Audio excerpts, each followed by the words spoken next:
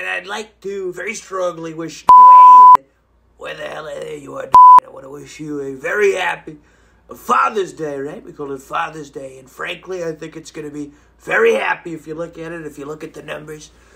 I think you're going to get a lot of big, beautiful gifts, but perhaps none better than this one a personal shout out from uh, your favorite president.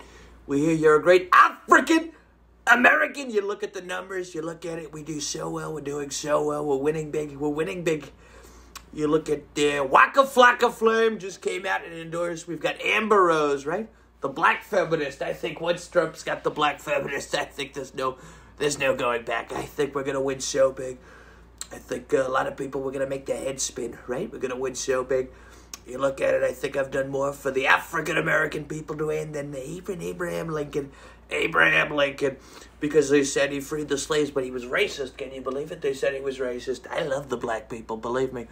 You remember from my days of cameo on Fresh Prince of Bel Air?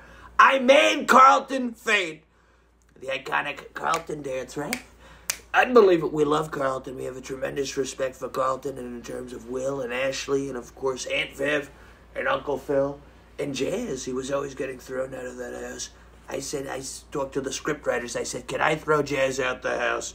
And they said, we can't do that. It's, uh, that's Uncle Phil's job.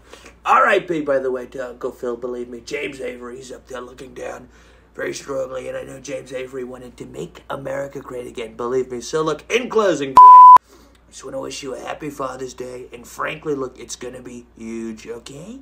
Believe me. Look at that dance. That's the Happy Father's Day for dance. Unbelievable. Look at that crowd, and there's a lot more waiting outside, believe me.